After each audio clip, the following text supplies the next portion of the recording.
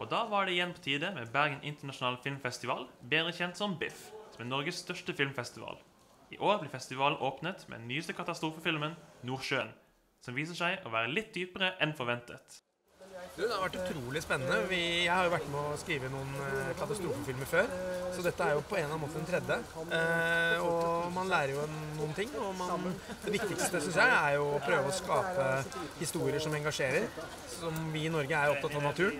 Eh, og dette er jo en historie hvor vi tenker hva om naturen kan slå tilbake. Så veldig miljøbevisst film her. Ja, vi lufter det ligger jo der som et slags bakteppe. For det handler jo om I de andre filmene så har jo på en måte naturen gjort det den har gjort. Og her stiller vi spørsmålstegn med er noe av dette som skjer i filmen også noe vi har fremprovosert i vår aktivitet i Nordsjøen.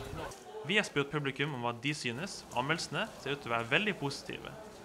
Den var fantastisk flott. Den sitter i ennå.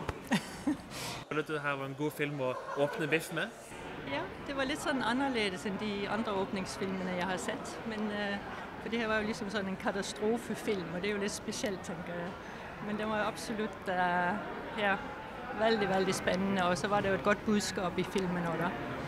At man tenker liksom at nå må vi stoppe kranene, kanskje.